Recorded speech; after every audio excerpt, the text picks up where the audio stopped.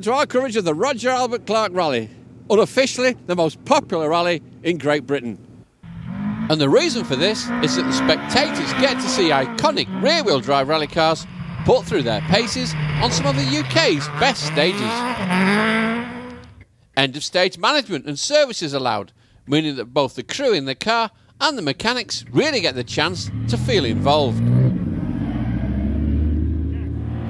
And of course, for the people inside the car, there is no better challenge because instead of using pace notes, the entire event is run using maps only. So the navigators have to work just as hard as the drivers. And in the ninth running of this event, despite, or maybe because of, the rally being shortened from its usual four days to just three, not only did we have the best entry that there has been so far, with more overseas crews than before, but there was also some unusual and rare cars out as well, such as this Citroen ID19 and this Fiat Abarth 124 Rally. And as has almost become the norm on the Roger Albert Clark Rally, it was Bob Bean and Malcolm Smithson who led the field of almost 80 cars away from the Pickering Showground for the usual first night run through Dalby Forest. And it was nice to see some variety in Category 1 this year as well, with the stunning Austin Healey 3000 of Mark Smith really catching the eye, along with the Alfa Romeo of John Everard, and the Lancia of Steve and Tony Graham, back for their annual attempt at getting the troublesome Lancia to the finish. Seated at number one for this event now were Martin McCormack and Phil Clark, with McCormack hoping to put previous disappointments behind him. So, um, how much looking forward to this this year? Yeah, yeah, really looking forward. To it. It's good to be back out in the uh, the Escort again after so long away. Uh, 2010 was our last out in RAC with it, so uh, we did one small event with it since then, but uh, it's really getting back into the swing of things. So really looking forward to it. And off he went with the Escort looking fantastic with its bright red paintwork. Second away was the man that most people expected to be in the lead at the end of the first night, local man Steve Bannister, with Kevin Ray by his side. Third away was the current BHRC rally champion Julian Reynolds, back in his left-hand drive Mark 2 Escort for this event, but still with Patrick Walsh alongside him. First into the forest then were Bean and Smithson. And even this slight bit of muckmaking here in the woodyard wasn't going to cause a problem for this crew, as after only two stages they would hold an almost two minute lead in the category. This was helped in no small way by John Everard taking James Sharpley on the scenic route around the woodyard.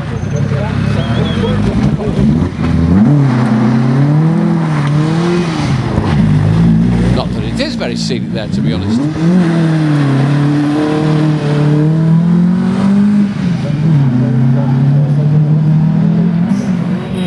And then it was the turn of the expected frontrunners to make their way onto the stages.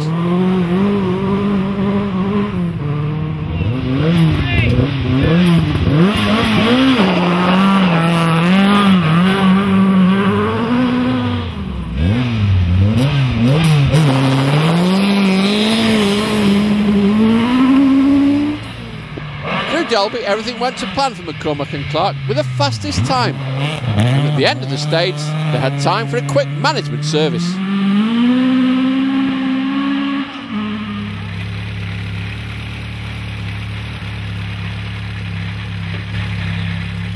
A couple of misdemeanors and had to be a bit careful, but sure, it's, it's RAC, isn't it?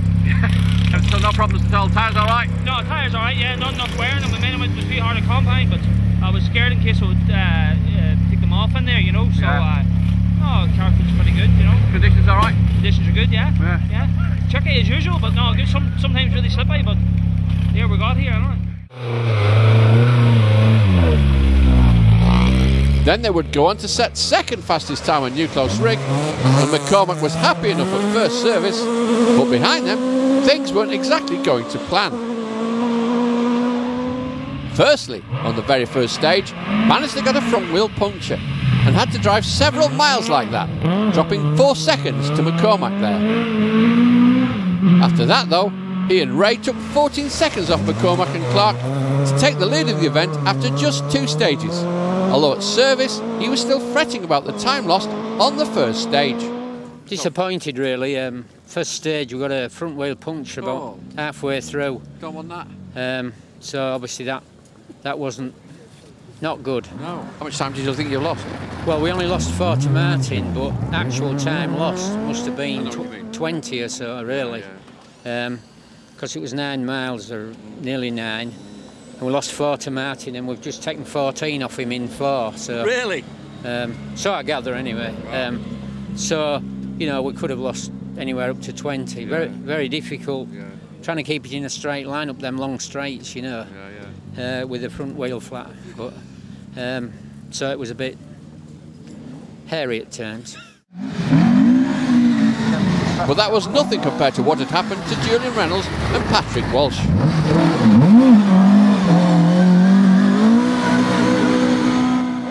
Three left, long continues over 100. Repeat, three left, long continues over 100. 100 up.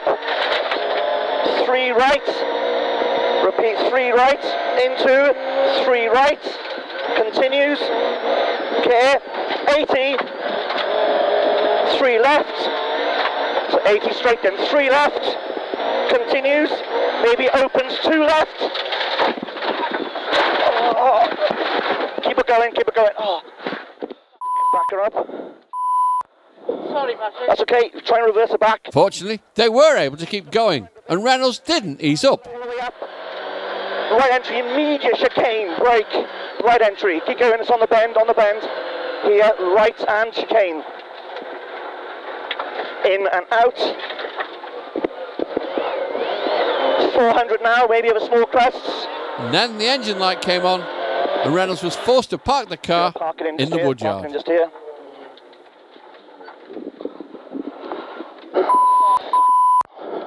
So that was one of the favourites already out. Uh, just going a bit too fast, totally my fault.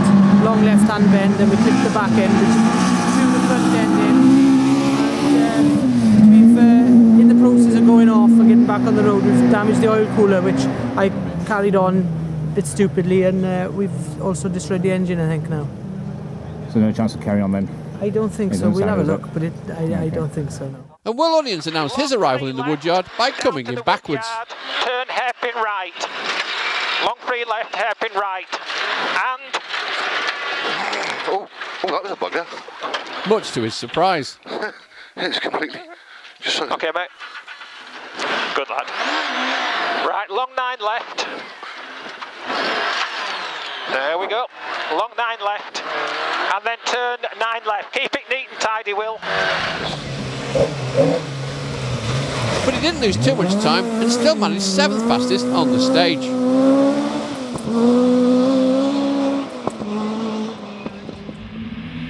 And with Paul Griffiths not quite getting on the pace, Matt Edwards not even making it as far as the woodyard on this first stage. It was Matthew Robinson and Mick Gilby who found themselves in third place overall and looking very comfortable with it.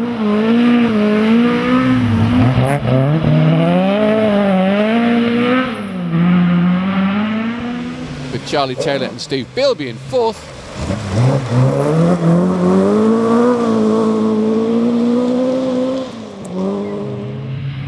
Darren Moon and Andrew Rufford in fifth.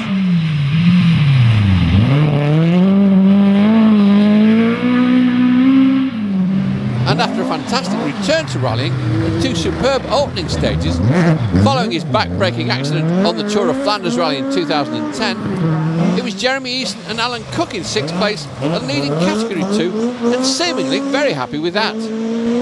Your first outing since the accident? Two and a half years, yeah. Really, two and a half. I didn't realise it was so long. Ah, it was a long while. Oh, I thought it was only Felt like five minutes just going back through there. Fantastic. Was it? Yeah, good. Good. Really, really slippery and fast. Just And a job. your confidence? All right. Yeah, okay, yeah, not a problem. Okay. Not a problem. Alan's on the maps and he's on the case. We're all right. And we caught up with a few more of the crews before they went for their second loop of the Dalby and New Close Rig stages. Yeah, well, and, uh, I've, drove, I've driven as fast as I can. Uh, the car was very good on the stable, uh, very stable on the straights. We stiffened it up quite a bit, but going around the tight corners, it's just understeering. Does it feel different now? Because it does seem to be more reliable after years of, you know, touch wood. Hey, you know, eight years. You know, how long did it take? How long did it take to to get the American space shuttle on? yeah, but it's no, the, no, the car. She's she's working really well. You know, the engine. Yeah, the engine's better, much more stable. Um, and uh, you know, fingers crossed. We've had three. We've had three class wins and finishes in the last three rallies. So let's just hope we can keep it up. But it's a real competition here. What's it like with this new navigator? Oh, he's very, very good. It's just the driver needs to pull his socks up a bit. We um, had a spin going into the woodyard this time and managed to do have to do a three-point turn.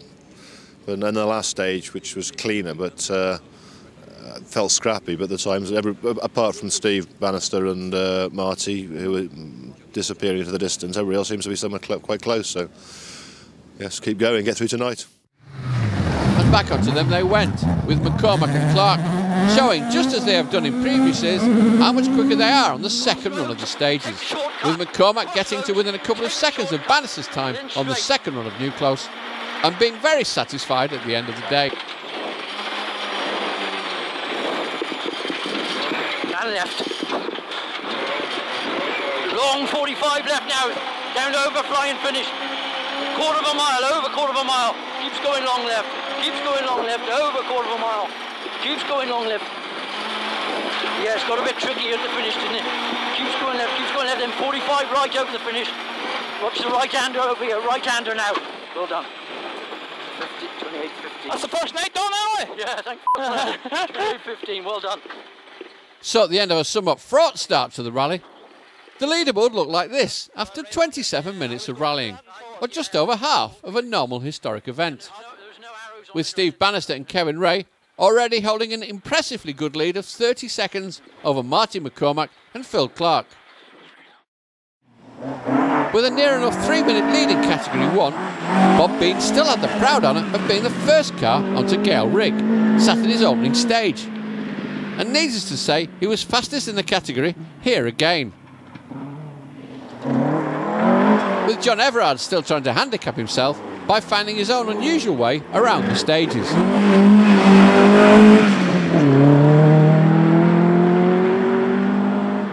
And leading Class B3 at this time were Nick Pinkett and Richard Simpson in their V4 Saab 96, who after this stage would be just two seconds ahead of Stephen Higgins and Howard Allison in their two-stroke Saab 96.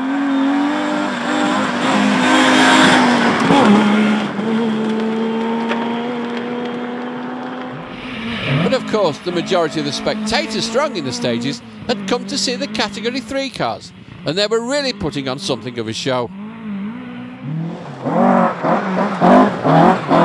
And although Bannister was quickest again here by 10 seconds, with Paul Griffiths second fastest, McCormack was certainly trying his best. 60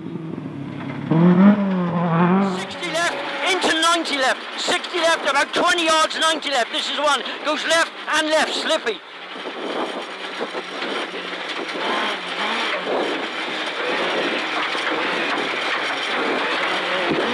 Straight on, 60 right, not too bad actually. Four more 45 right and 30 left here at the arrows. Long 30 left.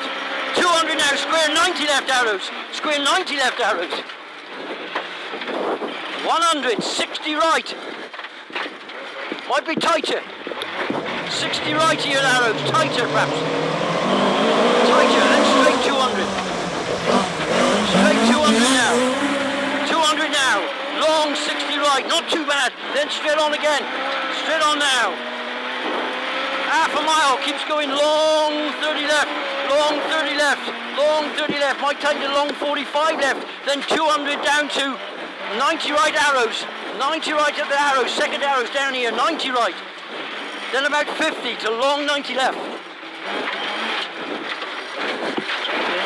Long 90 left, long 90 left, 150 to 90 right, no arrows, 90 right here, arrows, 90 right, no arrows. And long 45 left. Tightens to 90 left arrows. Tightens on arrows. Tightens on arrows. 90 left. Straight on. Long 30 left. Long 30 left. Long 30 left. 300 to 60 right. 60 right. 60 right here. Griffey's time here was good enough to move him up from 8th to 5th, which was a great start to the day. And once again he looked destined to improve as the rally progressed.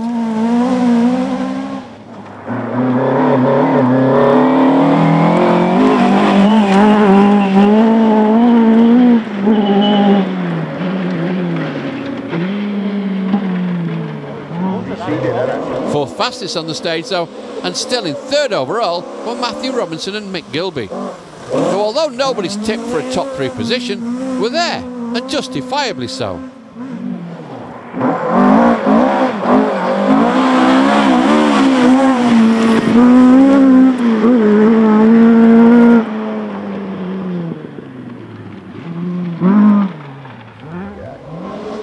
Fifth fastest here was Seamus O'Connell and Andrew Sankey, who had had a fairly slow start to the event to lie in 18th position after the first night's stages, but with a bit of daylight around them, you just knew that O'Connell was going to leap up the leaderboard.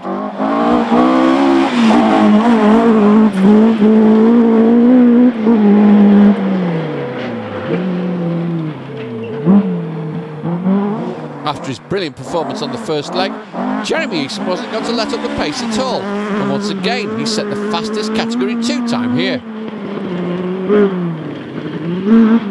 Although that was matched by Stefan Stoof, who after his first stage disaster in 2011 had perhaps not surprisingly taken it a bit easy in the forest in the first couple of stages and was now setting front-running times again. While running in the FIA classes, Steve Perez and Paul Spooner were leading it out right in their Lancia Stratos. Although a great time here from Pete Smith and Ryland James would see them tied for that category lead.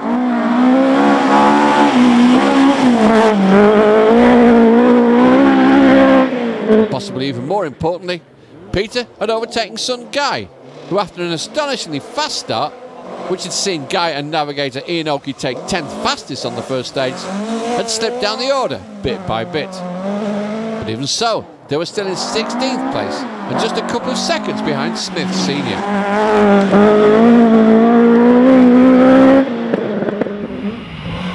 Also running as part of the Swift Group team here was the youngest driver in the rally, Ash Slights. The joint first ever Formula 1000 junior champion was putting on a great show and easily leading Class C3. Although he was some way behind the D3 car of Guy Woodcock and Graham Dance, which was being thrown around the stages as usual by Woodcock. Among the foreign crews at this time, it was obviously Stoof leading, but then behind him came Bernard Munster in his fantastic Porsche 911. And then the trio of Gregoire de Mevius, Lionel Hansen,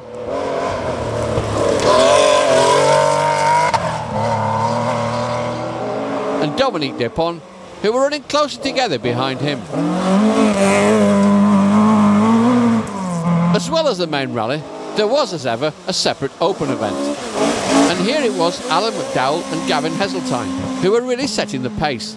Their Opel Kadett both looking and sounding superb.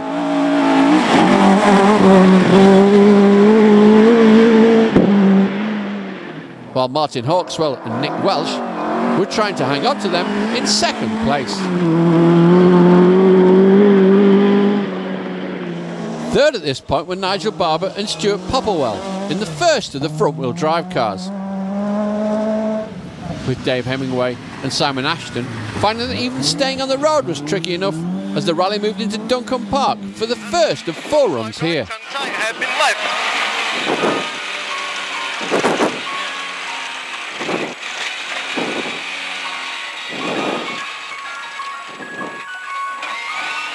30 left. Very crowd. 200. Tight hairpin left. Very slippy exit. Indeed, Hemingway and Ashton were looking to get away with this off on the first run of the stage. A rather frightening accident that fortunately resulted in no injuries. Whilst on the second run, it was another competitor who was causing them a bit of stress. hairpin right.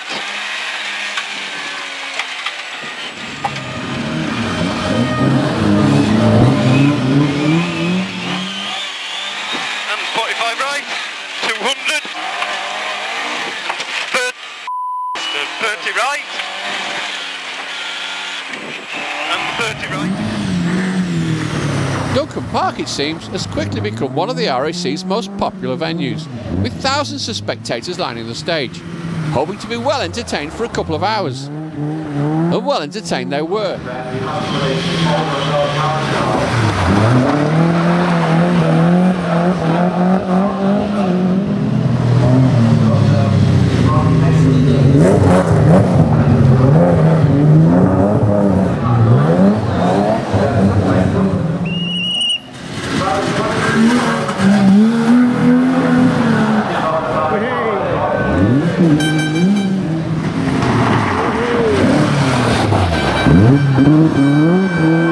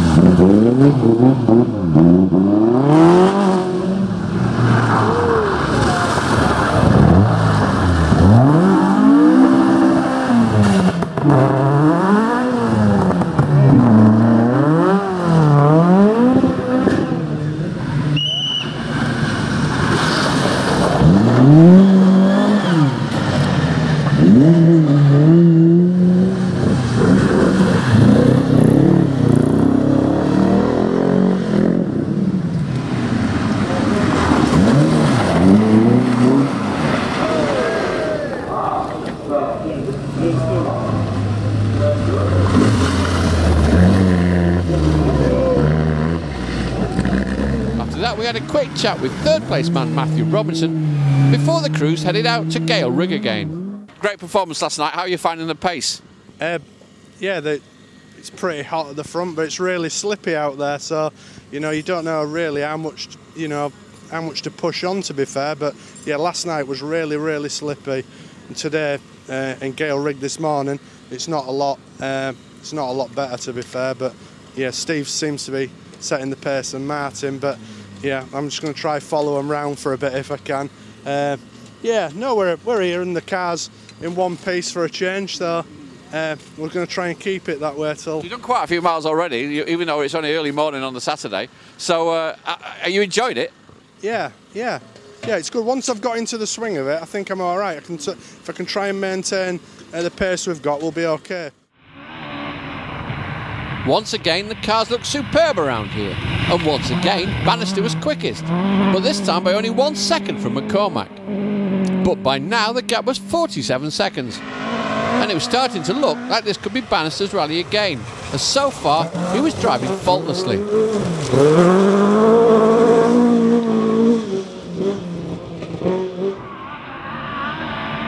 As was McCormack, to be fair. And the two of them were starting to ease away from the rest, with Matthew Robinson now a minute behind McCormack.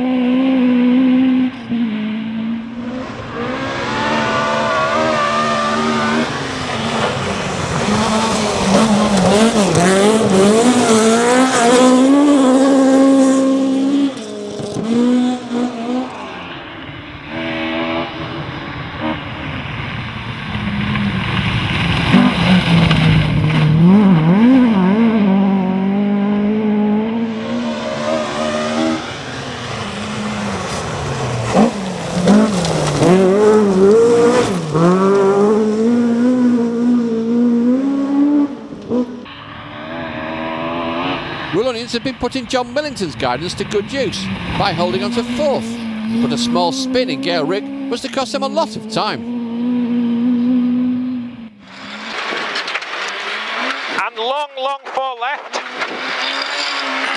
100. Nine right.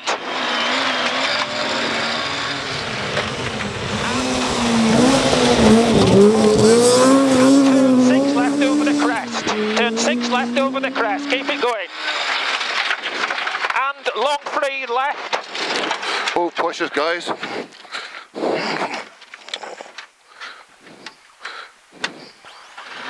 Okay, mate.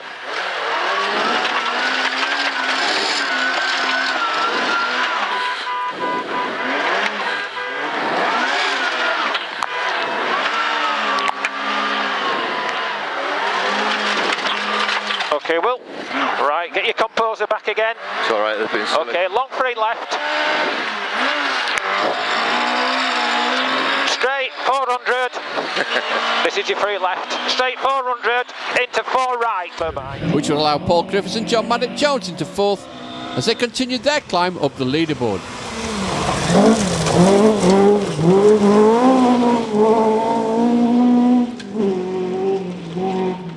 And Jeremy Easton and Alan Cook were still having a great rally and had moved up to fifth now.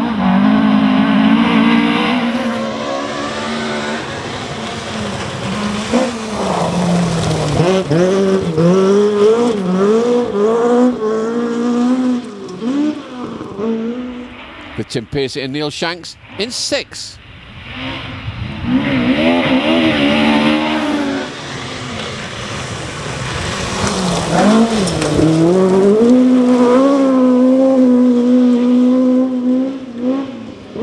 Charlie Taylor and Steve Bealby in seventh. And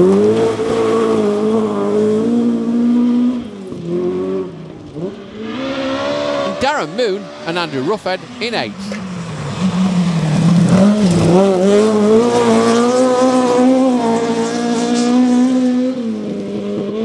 Stefan Stoof and Joris Irad were now ninth, with Onions and Millington dropping down to 10th. And amazingly, there was only 12 seconds covering the six places between 5th and 10th.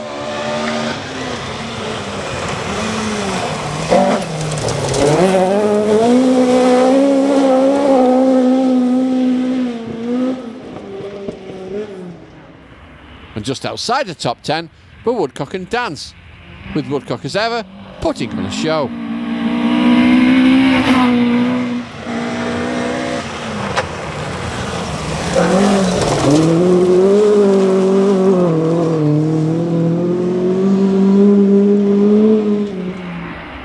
And in the open section, the gap between McDowell in first and Hawkswell in second was much the same as the gap between Bannister and McCormack in the main rally, with McDowell looking simply stunning everywhere.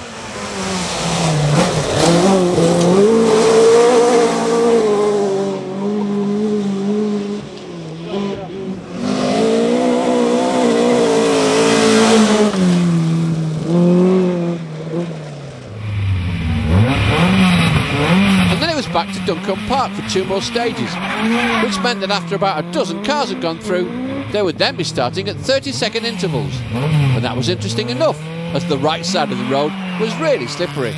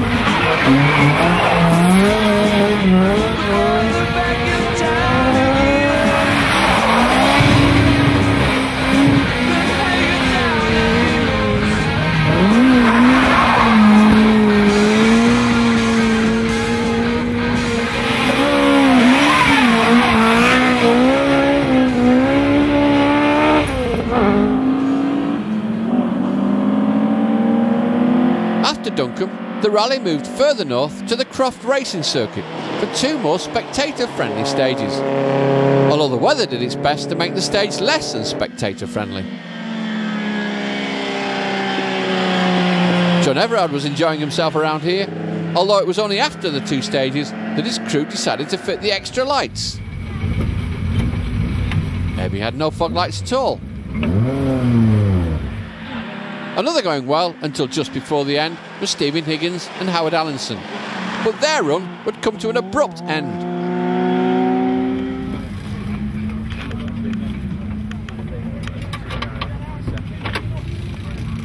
It's a bit of going off bang you've had there. Yes, a bit of a bang. Was it just on here? Yeah, last um, chicane on the finish. Oh, you hit the chicane? Yeah. yeah. Easy enough to do? Well, I shouldn't have done it. It was a mistake. Um, yeah, but if you didn't make mistakes in rallying, we'd all be perfect. Yeah, I know. I know. Uh, just bad with myself. I Bad with myself. So, is it? Uh, We're hoping we can do something with it anyway. So the radiator's gone. We'll try and get a new one in. Oh, really? Yeah. Oh, listen to that. Okay, best of luck. Thank you. Sadly, they would not get it fixed that night, but reappear the following day, running under Super Rally rules. Of course, still in a dominant position in the category were Bob Bean and Malcolm Smithson. How's it going? All right, yes. You're. Uh, how's your lead today? About half an hour already. Uh, something like that. Yeah. How do you keep doing it? I don't know. Oh, you just love it. You love it though, this event, don't you? I do. Yeah. Yeah. Good. No the problem. longer the better. Yes.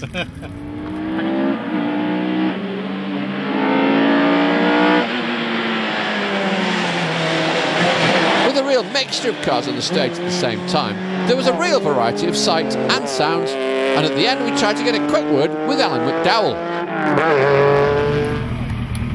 How are you doing? Yeah. Really? Good. Well, that was a quick word, wasn't it? So we found Charlie Taylor instead, who always has time for a chat. Is it a new car or did you just buy some paint? No, it's a new car. Oh, is it? Yes. Does it feel better? It does now, yes. Well, you have to get used to it all. Mm. Oh, interesting. Yeah. It cost that much, I was trying to use it. Really? Oh, really? And how does it feel different? Is it sort of stiffer, crisper, or...? Just a little bit stiffer and a little bit lighter. All uh, right, yeah. But no, it's good. And, and, and is it reflected in the times now? I mean, you've had a good performance so far. Um, to be honest, I think if we had the old car, we'd be we'd be on it today. Because you're a bit scared of damaging it. Yeah. Yeah. and Andrew Haddon, who we don't see out very often nowadays, but who was enjoying himself on this event and had just set second fastest time on his second run around Croft. Yeah, not bad. You don't, don't you only come out once a year now? Once every two years. Oh, is it it's two years since you did it? Yeah, yeah, But exactly. is it the same car or a different one? No, it's a brand new one. Oh, is it? Have you put the other one back into storage where it deserves to be? Well, yes. We're going to play with it and make it nicer again. It's a bit tatty, but So which car's this? What's this to this one? nothing. It's just a regular, you know, regular escort we built up. Nothing special. Oh, with you. so, Yeah, yeah. You know, it's good fun though. Good Yeah. fun round there. Yeah, you look like you've enjoyed it. Yeah, it was a lot of fun. A lot And of fun. how are you enjoying the performance so far? Well, you know, all these boys are out all the time. Yeah, I mean, I'm yeah. not complaining. I'm really having a good time, but you know, I'm getting there. Yeah. Lift the fog, lift the dark. I'm alright. There was a disappointed mood amongst the Slights Motorsport Swift Group team here, though, as within a couple of stages they had lost the cars of Guy Smith with a blown engine and Ash Slights with a broken rocker on his Pinto engined C3 Mark 1 Escort. And coincidentally, a similar problem for Guy Woodcock's Pinto engined D3 Mark II Escort saw the engine bay surrounded by historic rallying regulars. Right. Well, all right. No, it's popped off um, a rocker on the uh, on the cam. We're just trying to get it back on. So is it doable? Hey, is it doable? Well, possibly. We're just on the engine man now, so we'll Oh, see. it is, okay. Um, just, just coming out around the last uh, last chicane. Oh. So what? Is basically loads of noise and rattling and shit like Just that. misfire because Oh, okay. basically the valve, two valves are not opening. So Yeah, yeah. just trying to get them all back on. So uh, And how long could you afford to be here for? 20 minutes probably. Not we'll so see. bad. And Yeah, we got a bit of lateness, so we'll see how it goes. Okay. Best of luck. Thank you. with a makeshift service crew that included Ricky Profit's regular co-driver Phil Harrison, plus Chevette driver Rob Smith and escort driver Alan Walker, there was no lack of enthusiasm and knowledge to get it fixed. Fix it, I hope. Have they got a new spring or rocker or? No, I don't know what they're doing. Got- You don't know what they're doing? No, I just let them get on with it. bolts and everything. All the bits are there, so. Okay. Justin, do you want to take this? So what's the situation as far as you're concerned? Um, as far as looking at the time, we've got about 10 minutes before we need to leave here, otherwise we'll be uh, start going OTL at Hamsterley, which is something we don't really want to do because No. we set a good time there last year, so we want to get into there. So you're you're into your lateness now? At the moment, yeah. Yeah. it's, it's half an hour penalty free, but we're into that now. It's a 25 mile road section, so uh, Yeah, I yeah. need to get on with it a bit. But, uh, I've got my OS map, so I can start calling road sections for properly, so just like a proper road rally, really. It was really good to see so many people who don't normally work together working together so well, just calmly and efficiently putting everything back together again. This what it's all about. What's it all about? This is what this rally's all about. Isn't it? Just about, yeah. Everybody mucks in and get it get it sorted. So It's hopefully, great. touch fingers, we'll see you in Carlisle later. Yeah, hopefully.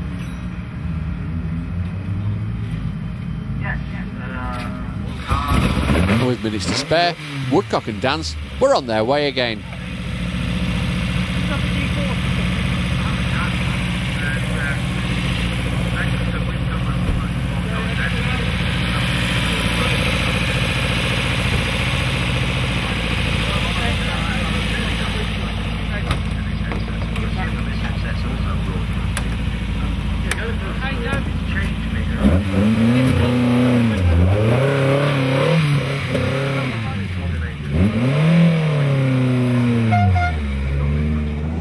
Meantime, out on the circuit, McCormack had made his first meaningful impression on Bannister's lead, with a time seven seconds quicker than him on the second run over the Croft stage. So now the gap was down to 33 seconds.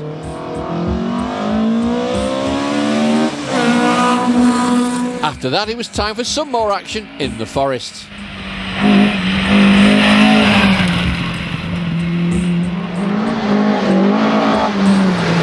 There's little doubt that it's the night stages that give the RAC rally its almost unique flavour. And with World Championship rallies tending only to run during daylight hours for TV purposes, it's no surprise that so many people turn out at night to watch this truly great spectacle.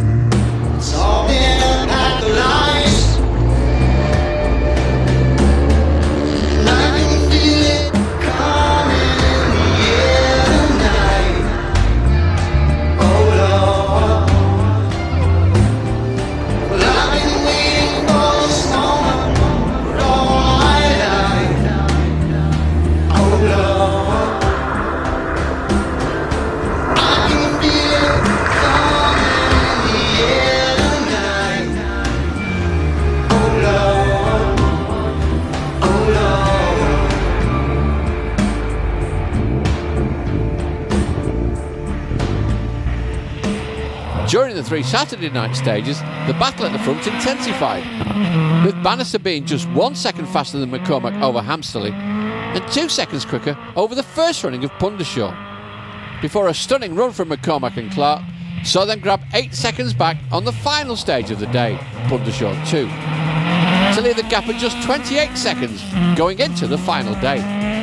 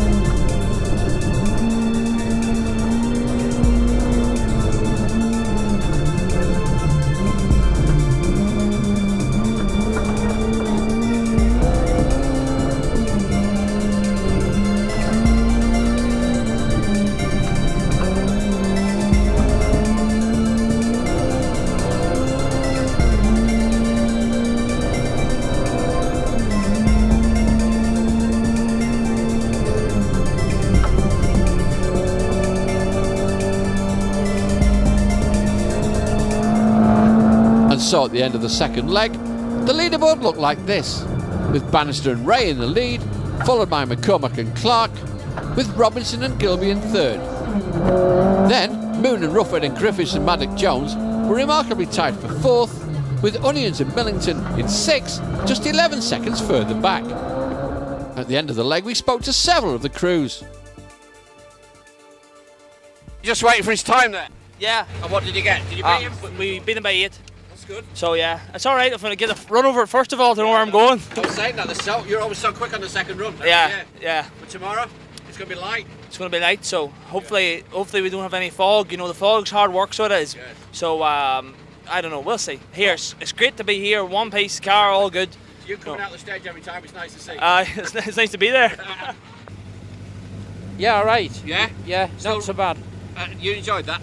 Yeah, it was pretty good, was that? Oh, good. A bit, a bit wetter than I thought, but yeah, no, okay.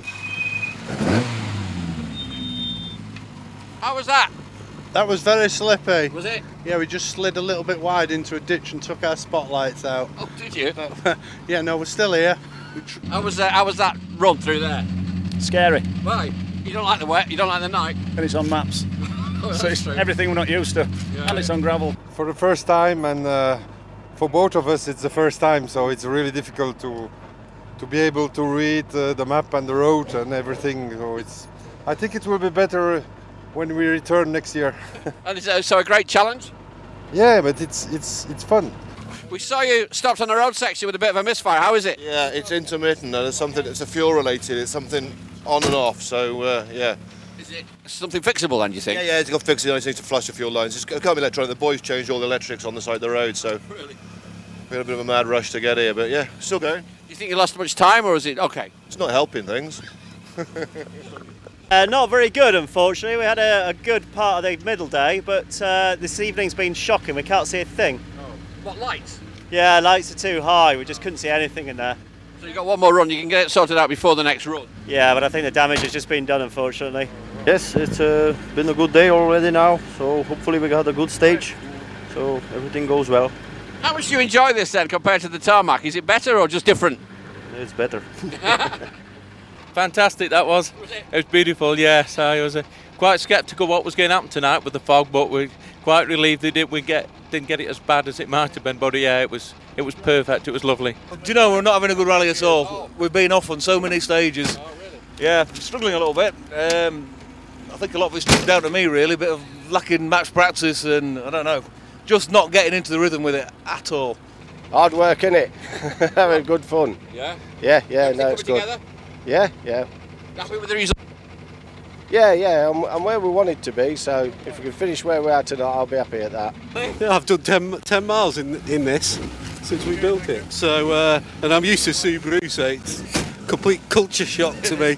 It is. Enjoyed it though. Uh, yeah, I will be when we finish tonight. Yeah, we had a disaster yesterday. We had um, a problem with the engine on a big jump. The the uh, cam belt jumped to tooth, so uh, we were, we're on super rally rules, but we're running with uh, good good times today, sort of top 15 times. So I'm really pleased all, all, all day. So We're, we're having all sorts of adventures, I'm afraid, with several breakages, uh, driver errors all over the place, and uh, we're just surviving at the moment, I think it's fair, fair to say.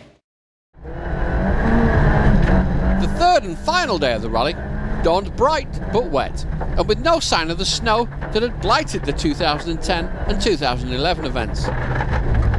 And with three stages grouped closer together, Glendhu, Newcastleton, and Florida, it was clear that this section would set the scene for the day ahead.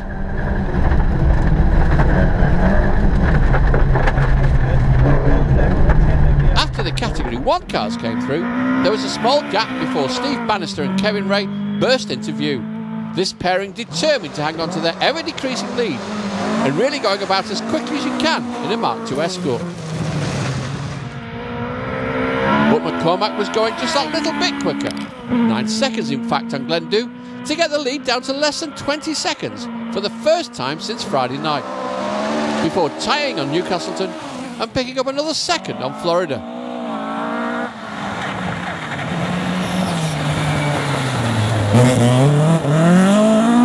Needless to say, the following pack couldn't match their pace, and although Matthew Robinson was close to it on Glendu, he then was devastated to retire from the event with a fuel-related issue, which meant that Paul Griffiths and John Maddock Jones would pick up another place on their climb up the field. And they had a couple of third fastest stage times and were now in third.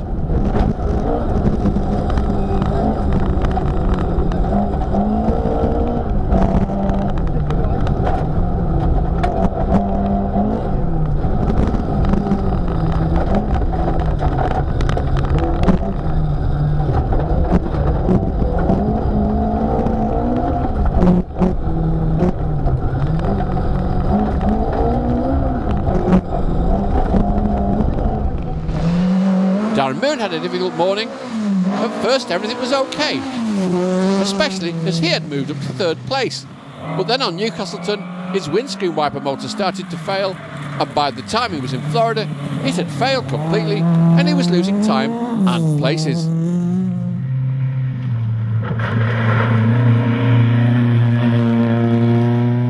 Will Onions was having no such problems though, and having dropped as low as ninth after his spinning Gale rig, he and John Millington were now back up to fifth and improving. Long four right bend.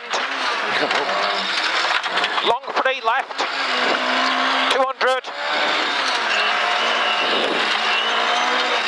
Three right. And four left over the bridge. Another bridge. Three right, four left. There's your time for the bridge.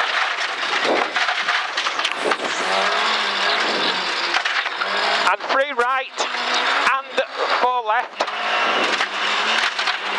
long three right, 200, dropping down steeply, keep straight on at this junction, 50, turn hairpin left, turn hairpin left, keep it neat, here.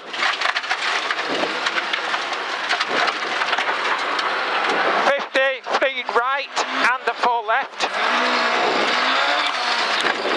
150, five left, five left, and three right,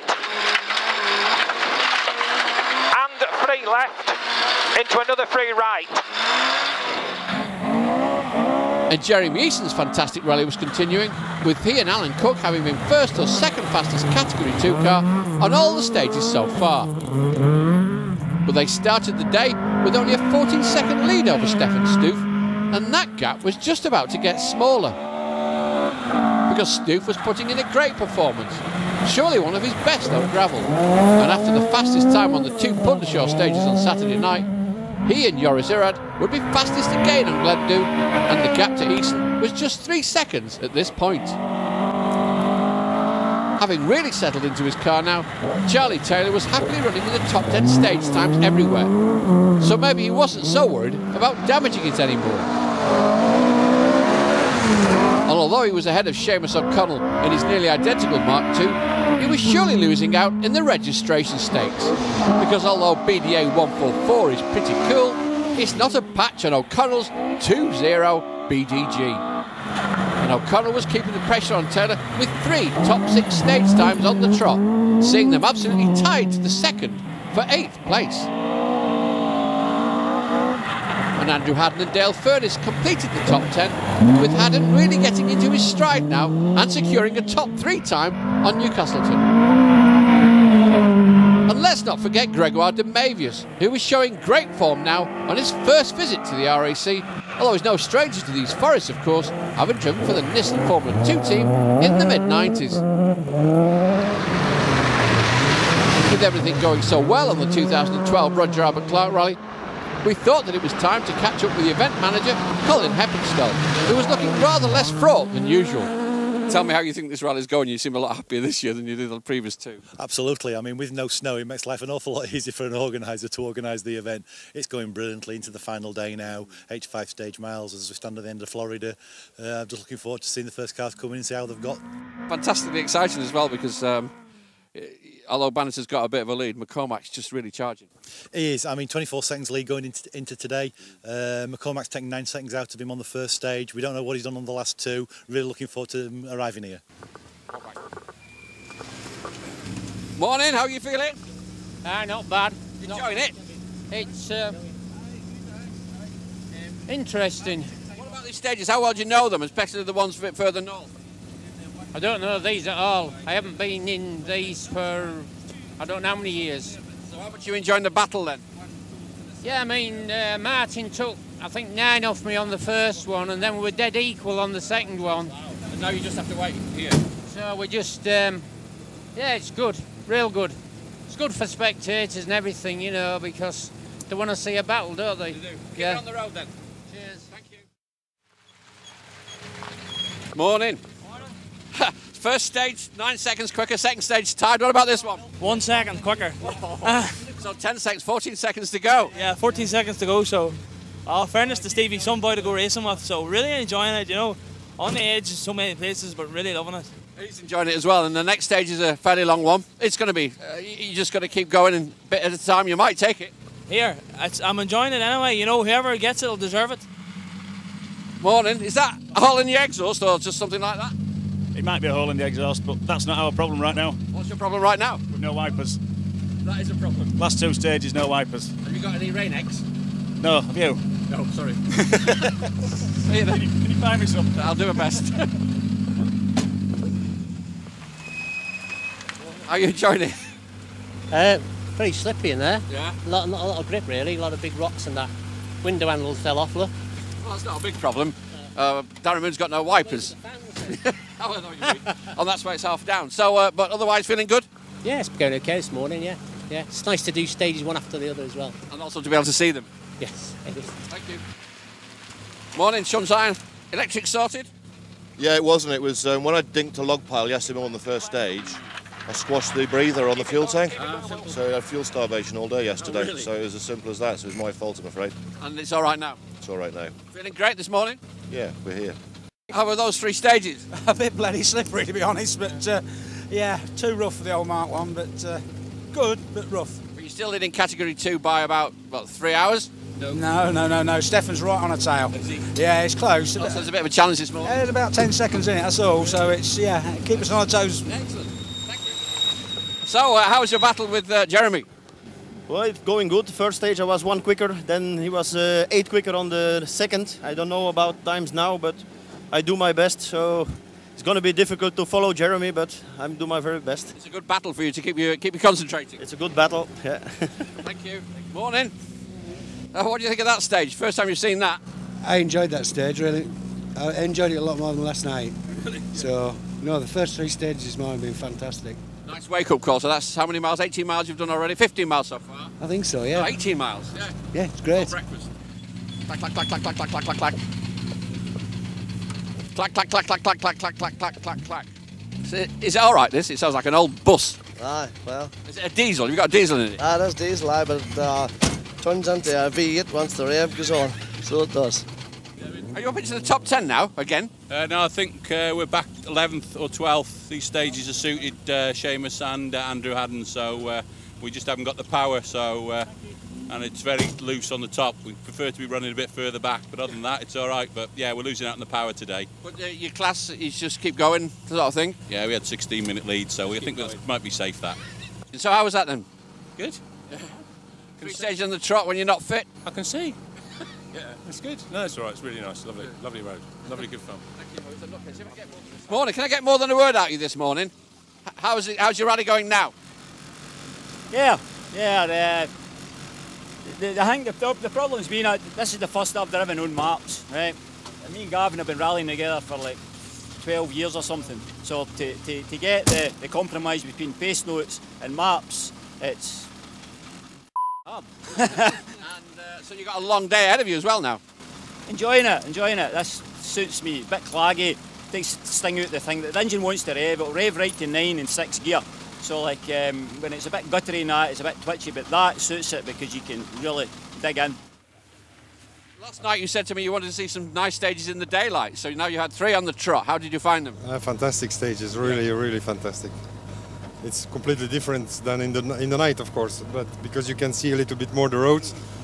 But it's getting better. Uh, we are uh, getting used to, and my co-driver as well. He's getting more uh, details out of the map, but it's not uh, it's not easy. But it's getting better all the time. And you've a lot to go today, another sort of 70 miles. Yeah, yeah, it's a lot. Uh, to, this morning we didn't even have uh, done uh, half of the rally, so so uh, it's it's okay. How are you, are you feeling? Oh, Yeah, good. Yeah, it's okay. It's very, very slippery in there, very narrow. You know, it's just you haven't got a lot of the cars moving around all the time at the front, at the back. It's pretty scary actually. It's not an easy car to drive on gravel. I've got to say that. It never. It's better, but it's never got any easier. Yeah, I like this stage. It's a better grip, not so mud. I have more confidence here. It's not so, not so bad. Uh, it's more easy to read. Yes. And now you've got sort of 70 miles to really get the feel of it again. Go back to your old mental days of the British Championship. Yeah, exactly. So it's it's really nice. I don't recognize the forest, but I, I know I've been there. There were a couple more stages before the day's main service at Hawick, and amazingly, Bannister took eight seconds off McCormack on Riccarton before McCormack returned the favour on Craik 1.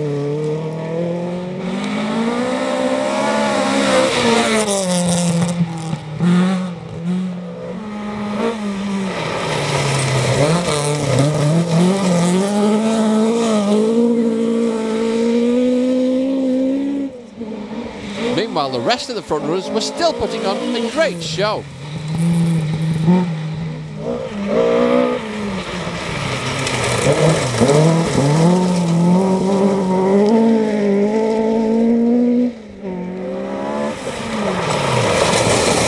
And Jeremy Easton was still quicker on Riccarton than Stoof, despite this spin.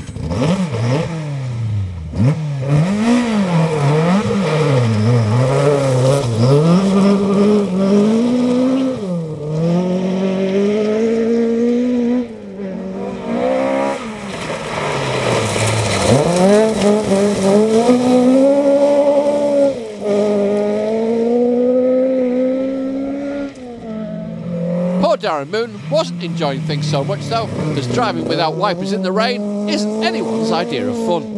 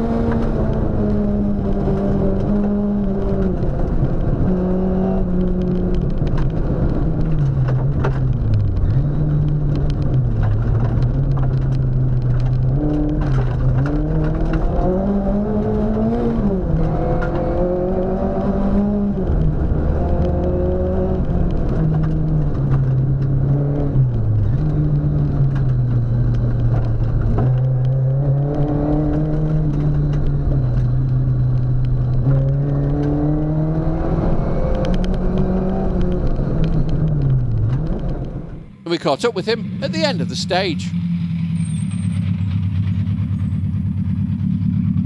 How are you working it? how are you working it? It blew out the window. 100, 100 yards off the line. Into it. Oh, I see what happened. Oh, you, you actually. So, so how much time did you lose then? I don't know. The loads. Oh, it will be. Yeah. And on a day that had already seen Tim Pearson retire, as well as Matthew Robinson, problems were starting to afflict many. Guy Woodcock's was minor, just a front puncture. But at the end of the Riccarton stage, Seamus O'Connell's sounded a lot more serious.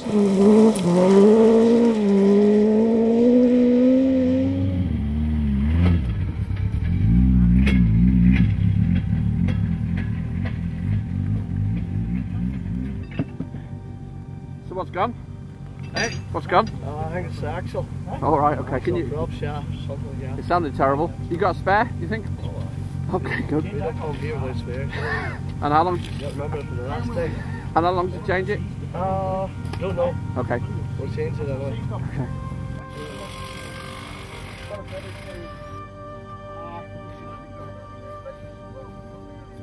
What's going to happen now, time-wise? Well, I Hey, think get something for both there, get axle change. Bobby, get something for both. We've got um, about an hour to do 12 mile. Oh, that's not so bad. So the boys can do it. See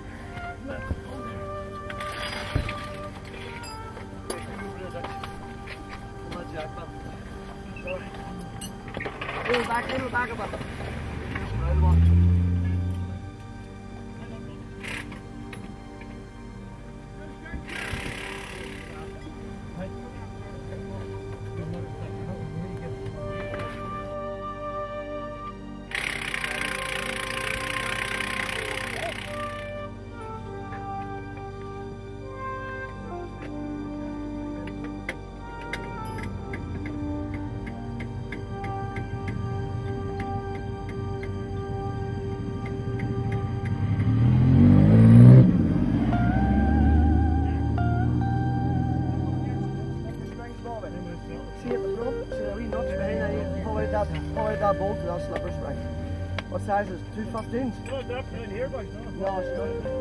No, it's not standing there.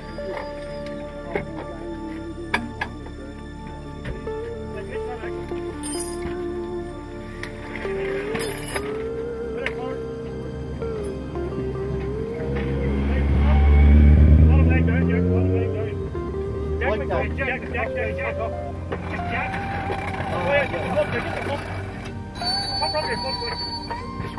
Jack, Jack, up. Just Jack. Yeah, get the foot there, get the foot. Pop up your foot, boy. Watch behind the handle. Keep the handle straight. Keep the handle straight. Pop your foot.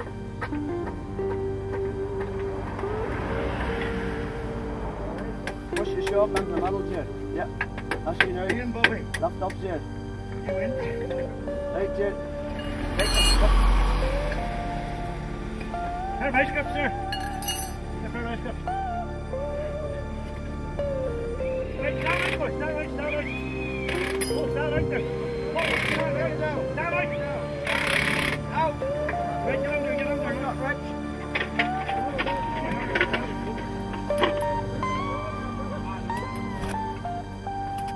Seems to me that there are a few more nuts and bolts there than there should be. Still, it was all done within the time available to give them the chance to get to the next TC without picking up any penalties. And so no damage was done to their rally. How long did it take? 20 minutes, I think. That's all right, isn't it? It'll do. The thing about this rally is that even at only three days long, it is still a test of endurance for both the crew in the car and the mechanics helping them out. And the story of Hughes Saab is a case in point. He and navigator Emir Hall had a really fraught event, with delays almost everywhere, and a series of problems throughout the rally. This culminated in a Saturday night changing the gearbox, which in the Saab means removing the engine, and so it was a 4am finish for them all. And then on Sunday, a drive shaft failed in Wauchope, and this time they were out.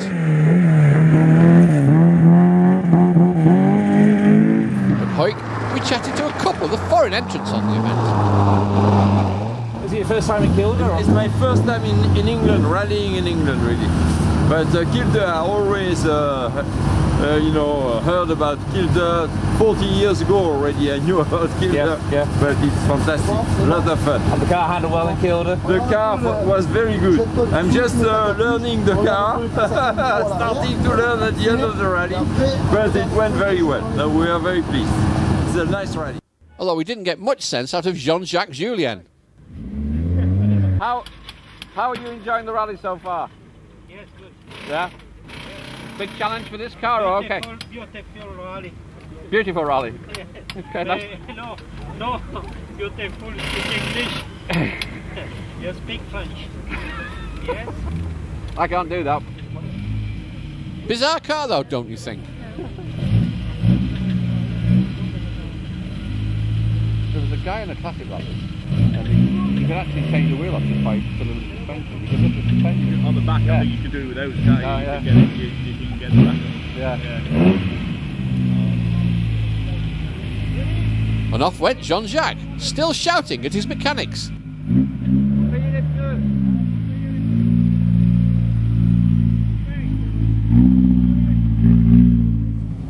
And before the final four stages, another quick catch up with the two leaders. Yeah, I'm feeling good. You know, it's it's great out there. Like you know, the race is on, and Steve's pedaling, and I'm pedaling, and it's just like, you know, but it's, it's really good. Like it's beautiful, beautiful forest. You know, it's tricky. It's you know, some of the stages are tricky. They're narrow. It's fast. They're flowing. You know, it's all you, you're on your edge. Like, but it's it's good. You know, it's rallying's all about. Yeah, well, it is good, isn't it? It's good for everybody, you know, spectators and everybody. Uh, yeah, and it's just it's nice we can give Marty a, a bit of a challenge. Well, not a bit of a challenge, you're still ahead. Well, yeah, only just. I think uh, it's going to be uh, a struggle. I think, you know. I think he's he's out to win regardless, you know, and how hard he has to push, he'll do it. I think. I just asked him if he was driving within himself, and he said no. Uh, oh well, uh, I am, but Yeah, yeah, good. well, just about anyway. So you won this in 2007. How does this compare as a battle at the minute?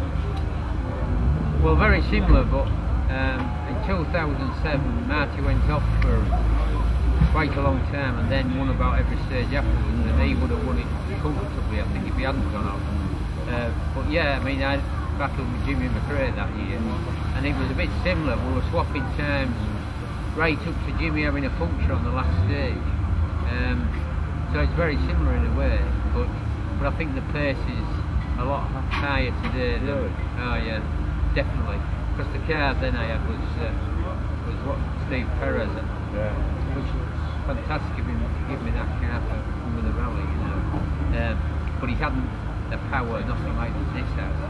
Um, so uh, it was a different battle in a way. I mean, the pace is so much higher. I think, you know, even though I'm five years older, I still. The thing is that he's one of the the fastest young drivers in Britain now. And how do you feel you're holding it flying the flag? There's so many fans out there. How's, how are you feeling?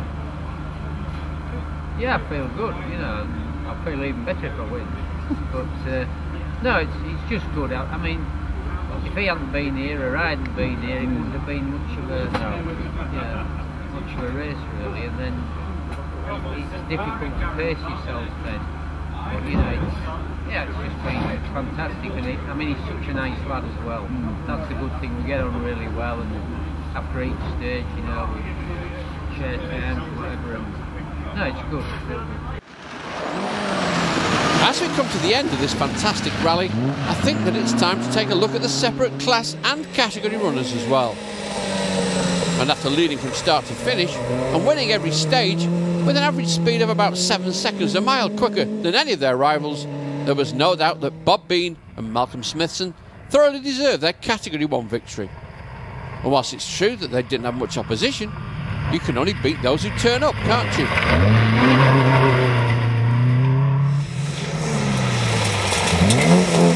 and Nick Pinkett and Richard Simpson took first in Class B3 in their Saab 96 after a fairly untroubled run by their standards.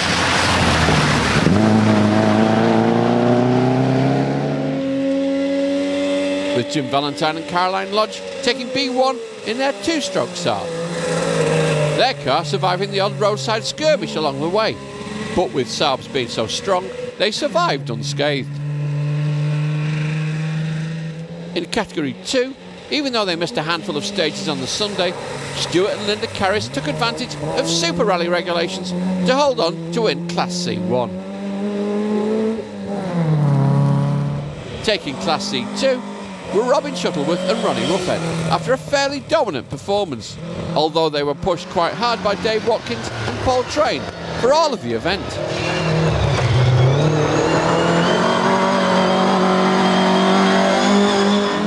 And just about six weeks after the car rolled out of the Colin McRae stages, it was great not only to see Wayne Bonza out again on this event, but winning the C3 class as well, with Richard Aston alongside him. Despite his protestations earlier on about hitting things, Tim Mason managed to bring his Porsche 911 home in more or less one piece, giving Captain Colin Thompson more excitement than he would probably want, to be honest. Moving into Category 3, Graham Standard and Bill Cook were the winners of D2, even though they too benefited from running under Super Rally rules since the third stage on Friday night.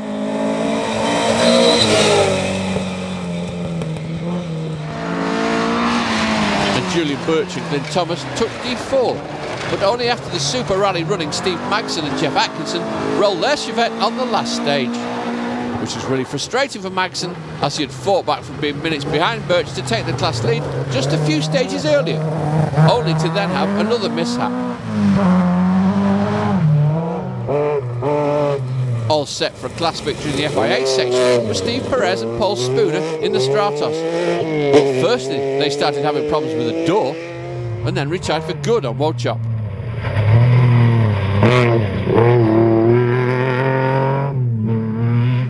but there were no such dramas for Pete Smith and Ryland James, who won an attritional Class E5 and the FIA category outright, with a remarkably drama-free run by Smith's standards.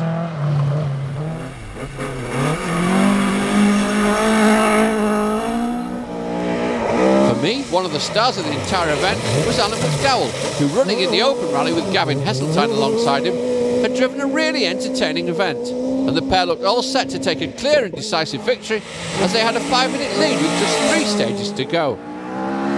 Sadly though, the pair suffered a frightening accident here in Wauchope, which left the car precariously balanced on the edge of a river, and they were out. There was bad luck too for Nigel Barrett and Simon Law, who having led their class throughout the rally, then went OTL on the last stage while holding a nine minute lead. And that's not funny. Unaffected by all this, of course, were the crew who turned out to be the winners of the 2012 Roger Clark Open Rally Martin Hawkswell and Nick Welsh. And they did this despite winning only one of the Forest stages. And that must be first.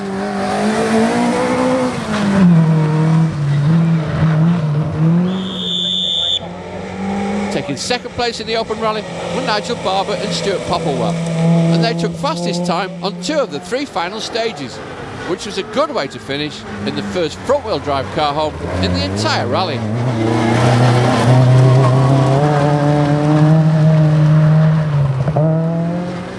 With Dave Hemingway and Simon Ashton finishing third after a relatively trouble-free run, apart from the odd bump and bang here and there.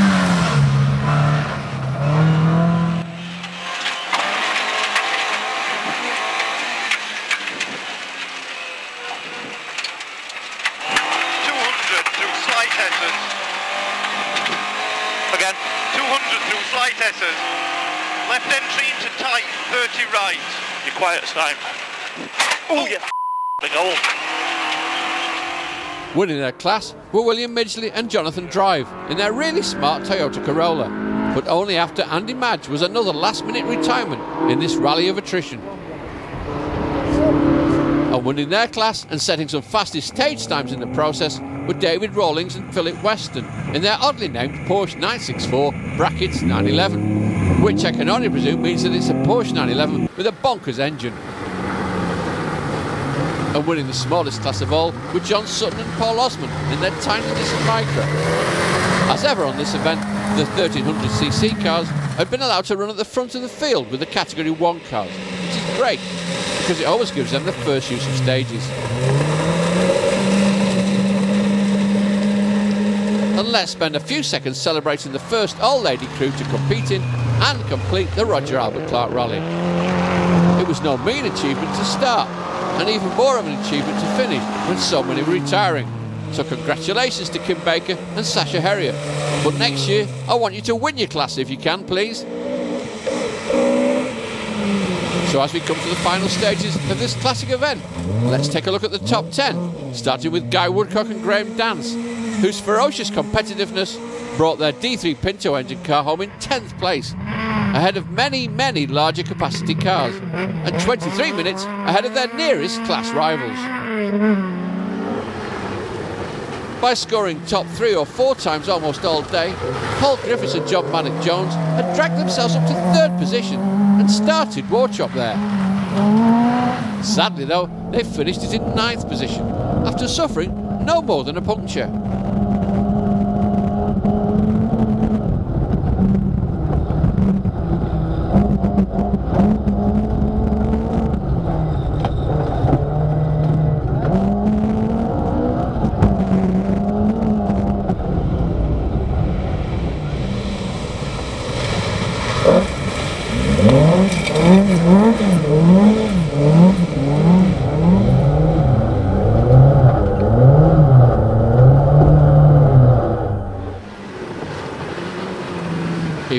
Luck would befall Andrew Haddon and Dale Furnace, though, who would retire from 8th place after working so hard for almost three days.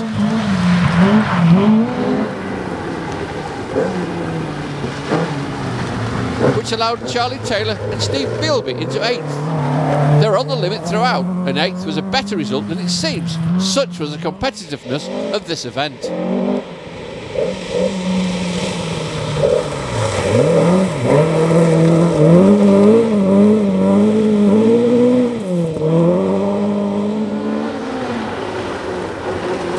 Was car number seven, the Mark 1 Escort of Stefan Stoof and Joris Arad.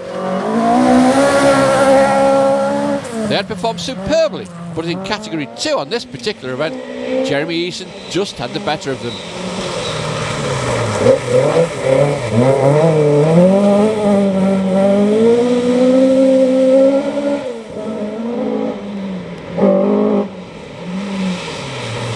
His axle repaired, Seamus O'Connell set about consolidating his position, and he did so with good solid top eight times on all the day's remaining stages. And he and Andrew Sankey would be rewarded with sixth place. One of the most impressive performances of the final afternoon, though, came from Darren Moon and Andrew Ruffhead, as a series of fourth fastest times moved them up from ninth to fifth in just four stages, which was a fantastic result after losing so much time with their wiper problems earlier in the day.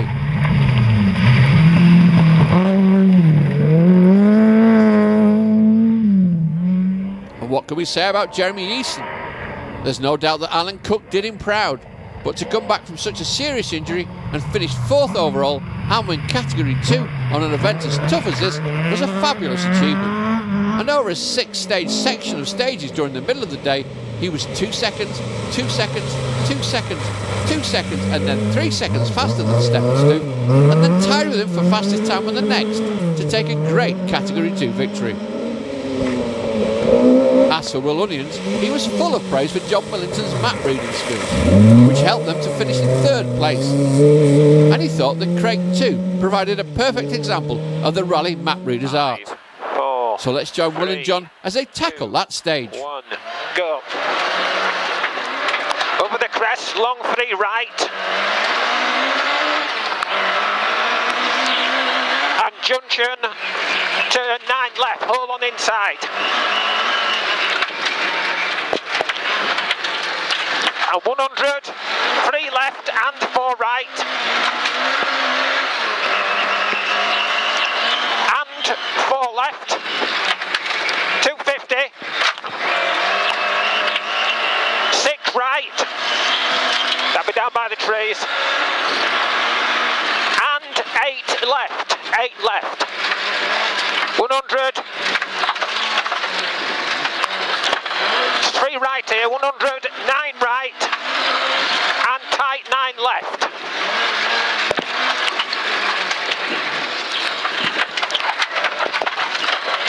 flat. 300. Over the crest, six right.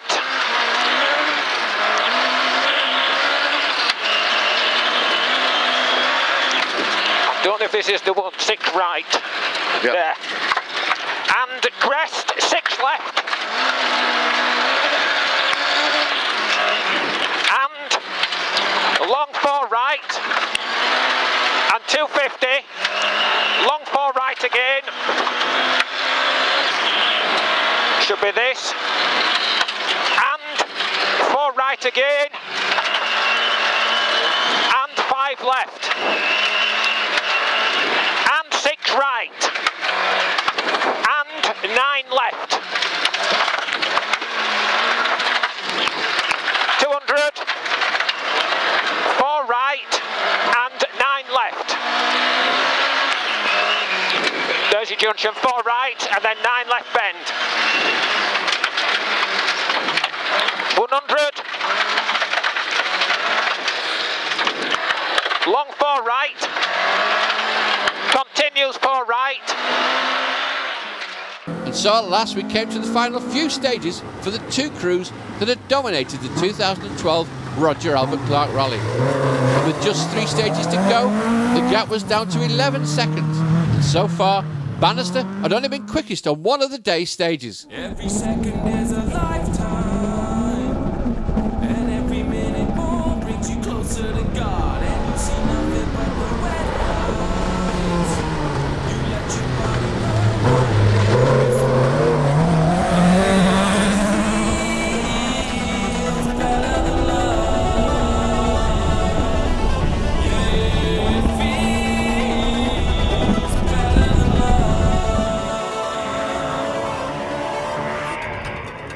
This was fantastic rallying and an extraordinary battle between these two masters at the wheel.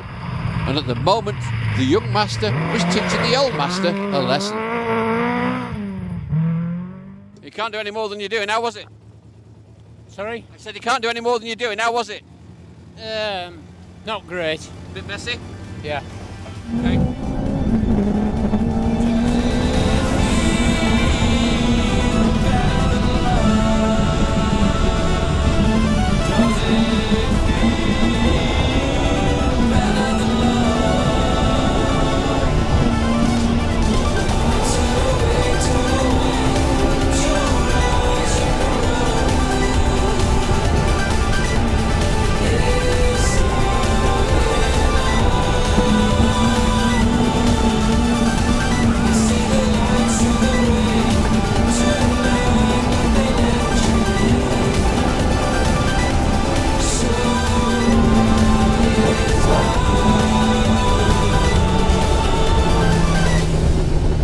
And at the Wauchope, you could see just how much it meant to McCormack. How was that? How did you feel? That was that was good. Oh, Steve wasn't too impressed, so let me see what the time is. That was good. That was good. Okay, Smell that's me brakes. You what? Smell me brakes. Yes, smell your brakes. How many? We were six faster. Six seconds faster. Six seconds faster. Six faster. So it's four, five more to get. So you heard it there. With just two stages to go, the gap was down to five seconds. And what was really impressive about McCormack's performance on this event was that gone was the hot-headedness that he had displayed in 2007, 2008 and 2009, when between throwing his car off the road, he was setting fastest time after fastest time. When up against drivers like Stig Blomqvist, Malcolm Wilson, Gwyndaf Evans, and of course, Steve Bannister. Here, he was still putting in fastest times, but so far there had been no errors. And as McCormack and Clark completed the penultimate stage, Florida 2, the results came over the organisers' radio.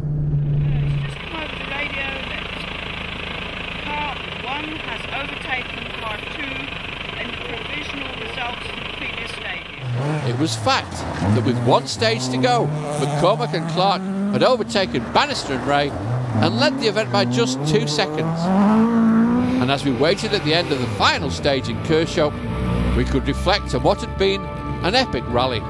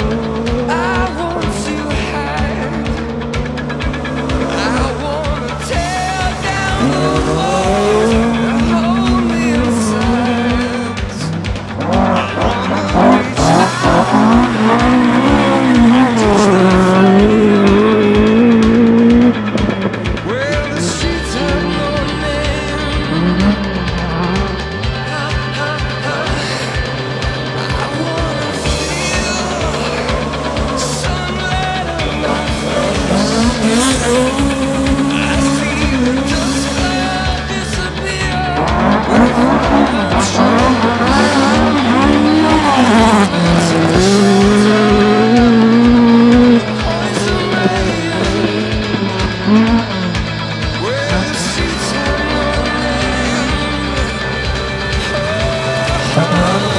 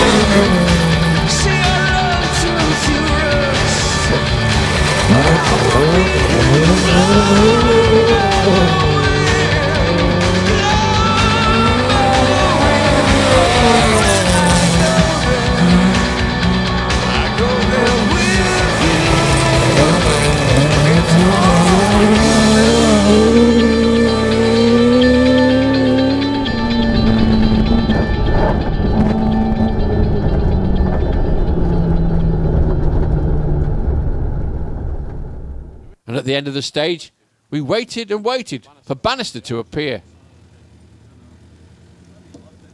Steve, two seconds down as you started that. How was it? Uh, spun it back there. Oh, you're joking. So, how did you enjoy it altogether? Tough, tough event. Did you lose much time with the spin? Oh, never mind, mate. Enough. But just as one man's desolation is another man's jubilation, into the finish came McCormack, not yet knowing if he had done enough. Steve spun on the stage. Did he? Yeah, and he's devastated, so it looks like you've done it. It looks like you've done it so. My God, what a race! Right, well done. Oh, well, that was unreal. Really, really good. Aye, tricky in there. You know, I don't know if we've done enough, and So it was really, really hard. So how does it feel to come back after those previous disappointments? Oh, it's magic. What It a is, weekend, like. Yeah, you want to do it again? Yeah. Want to do it again tomorrow? So what, how does this compare with all your other performances then? Just, this is the one, like, this is the class one. In the Escort and everything, since, you know, we came here in 07, like, to get it finally, it's just class. Me and Clark, well, fair play to that man. Unreal man of maps. And you've matured so much, so no mistakes. Yeah, look, you know, but this man here's directing me, he's guiding me. Yes, you know, I've come on a bit, bit more mature, but most of the time.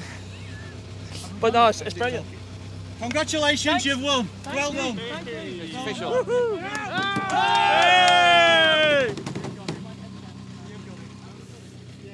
So it's official. Um, Martin McCormack has won the 2012 Roger Albert Clark Rally with a magnificent performance. And it had been. Fastest time on the last five stages gave a stunning and deserved victory to Martin McCormack and Phil Clark. And both he and the Roger Albert Clark Rally really had come of age. And this is the final result of the 2012 Roger Albert Clark Rally.